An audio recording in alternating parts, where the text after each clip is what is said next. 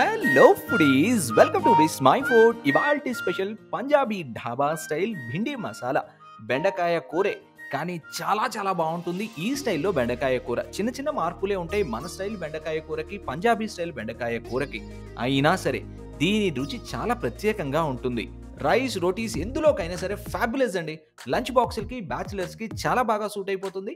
Let start Punjabi dhaba style bhindi masala. పాన్లో రెండు table స్పూన్ల oil heat చేసుకోండి.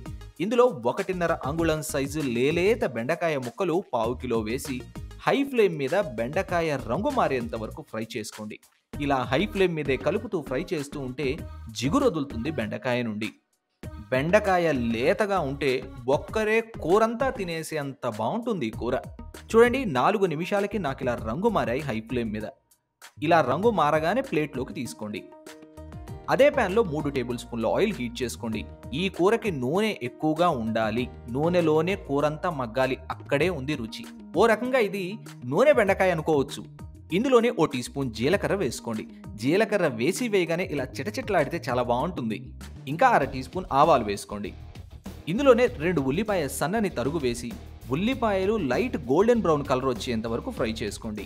ఉల్లిపాయలు కాస్త పింక్ కలర్లోకి మారాక ఓ రెబ్బ కరివేపాకు వేసుకొని వేపుకోండి.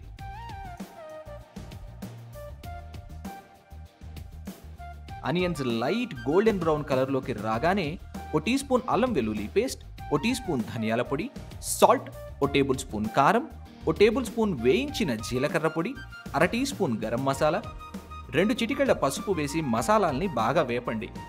ఒకవేళ అవసరమైతే మసాలాలు మాడకుండా వేపుకోవడానికి ఓ టేబుల్ స్పూన్ నీళ్ళు వేసుకోవచ్చు. కారాలు మసాలాలు ఇలా వేపితేనే కూరకి మంచి రంగు వస్తుంది. మసాలాల్లో నుంచి నూనె పైకి తేలాక రెండు టమాటోల పేస్ట్ వేసి బాగా కలిపి నూనె ఖచ్చితంగా పైకి తేలేంత వరకు కుక్ చేసుకోండి. ఈ కూర చాలా సింపుల్ కానీ వేసే ప్రతి పదార్థాన్ని నిదానంగా నూనె పైకి తేలేంత వరకు వేపుకుంటేనే అసలైన రుచి. నాకు సరిగ్గా ఏడు నిమిషాలకి మీడియం ఫ్లేమ్ మీద టొమాటోలో నుంచి నూనె ఇలా పైకి తేలింది. చూడండి ఎంత బ్యూటిఫుల్ కలర్ వచ్చిందో. నిదానంగా వేపితే మీకు ఇలాంటి కలర్ వస్తుంది. ఇప్పుడు ఇందులో వేపుకున్న బెండకాయ ముక్కలు వేసి మీడియం ఫ్లేమ్ మీద కుక్ చేసేయండి. బెండకాయ ముక్కలు పూర్తిగా నూనెలోనే మగ్గాలి. అప్పుడే పులుపు కారాలు బెండకాయకి బాగా పడతాయి. కూర జస్ట్ మూడంటే మూడు స్టెప్స్లో అయిపోతుంది. అవునా కాదా? చాలా సింపుల్. కానీ నిదానంగా కాస్త ఎక్కువ నూనెతో వేపితేనే అసలైన పంజాబీ ఢాబా స్టైల్ భిండి మసాలా రుచిని ఎంజాయ్ చేయగలరు. ఇది రైస్ రోటీస్ ఎందులోకైనా సరే ఫ్యాబులస్గా ఉంటుంది. నచ్చిందా? తప్పక ట్రై చేస్తారా? అయితే ట్రై చేసిన ఆ పిక్ని విస్మై ఫుడ్ ఇన్స్టాగ్రామ్ని ఫాలో అవుతూ నాకు షేర్ చేయండి. బై ది వే డీటెయిల్డ్గా రెసిపీని చదువుకుంటూ చేయడానికి Vismai food dot com website visit చేయటం అస్సలు మర్చిపోకండి.